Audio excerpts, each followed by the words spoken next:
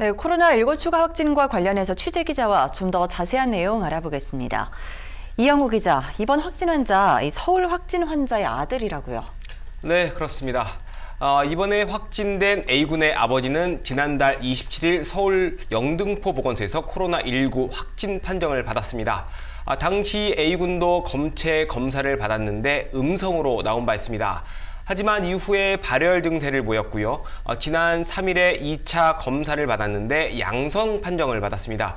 A군의 어머니와 형제 두 명도 함께 검사를 받았는데 다행히 이 세 명은 음성 판정을 받았고요. 현재 자가 격리 중입니다. A군은 인하대병원에 입원해 격리 치료를 받고 있습니다.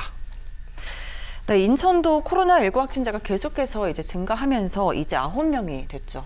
예, 그렇습니다. 아, 인천공항을 통해 입국했던 중국인 환자가 인천의 첫 확진자였죠. 이후 A군까지 9명의 확진자가 나왔습니다. 아, 부평구에 2번, 5번, 8번 환자까지 3명이 있고요. 아, 연수구에 6번, 7번, 그리고 미추홀구에 3번과 9번 환자까지 각각 2명씩 있습니다.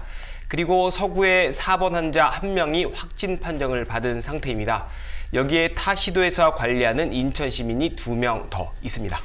네, 그래도 뭐 다행히 좋은 소식도 있는 것 같은데요. 중국인 첫 번째 확진 환자가 퇴원한 데 이어서 세 번째 확진 환자도 퇴원을 했다고요. 네, 그렇습니다. 아, 인천시는 세 번째 확진 환자였던 57세 남성이 퇴원했다 이렇게 밝혔습니다. 어, 지난달 25일에 인하대병원에 입원한 지 일주일 만에 건강을 회복해 퇴원했습니다. 아, 이 환자는 직업이 문화 관광 해설사인데요. 아주 모범적인 대처로 관심을 모기도 했습니다. 업무 특성상 평소에 메모하는 습관을 가지고 있었다고 하는데요. 아, 1월 31일부터 자각 증상을 느껴 스스로 집에서 휴식을 취하고 매일 증상과 치료 기록도 일지로 남겼다고 합니다. 음. 본인의 건강 상태와 신상 변화를 꼼꼼히 일지로 적어둔 덕분에 동선과 접촉자 파악이 신속하게 이루어졌다고 합니다. 이로써 인천 지역 9명 확진자 가운데 1번 확진자와 3번 확진자까지 총 2명이 퇴원을 했습니다. 네, 그리고 어제는 또 부평에서 여덟 번째 확진 환자가 나왔었는데 남편과 자녀 두 명이 있고 또 남편이 한국 GM에서 일을 해서 지역사회 우려가 컸었는데요. 역학조사 결과가 나왔나요? 네, 어제 부평 청천동에 거주하는 중국인 여성 48살 B 씨가 확진 판정을 받았는데요. 남편과 두 딸이 함께 살고 있었습니다. 검체 검사 결과 가족 3명은 음성으로 판정을 받았습니다. 말씀하신 것처럼 남편이 한국 짐에서 일한 것으로 알려져 지역사회 확산을 우려하는 목소리가 아주 컸는데 일단 안도의 한숨을 쉴 수 있게 됐습니다.